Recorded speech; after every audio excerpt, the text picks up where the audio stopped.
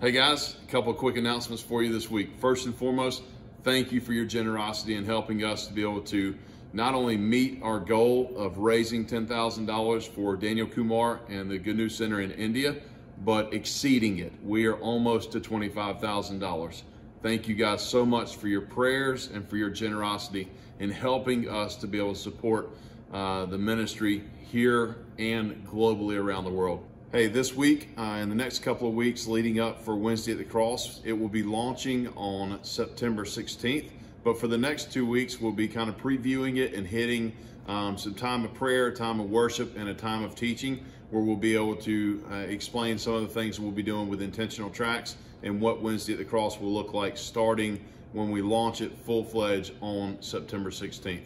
Hey, remember live stream is on Sundays. Our service is Sundays at 9:15, and then we have the in-person services at 9 o'clock and 11 o'clock. Also, want to encourage you to download the YouVersion Bible app. We're utilizing that, and in the description below, you'll be able to see a link that uh, kind of walks you through how to get that. Also, there's going to be a link below where you can click uh, to let us know any prayer requests that you guys have this week. Hope and pray that you have an incredible week. Dive into the book of Ephesians and be ready for us to continue to walk through that on Sunday mornings. Thanks and have a great week.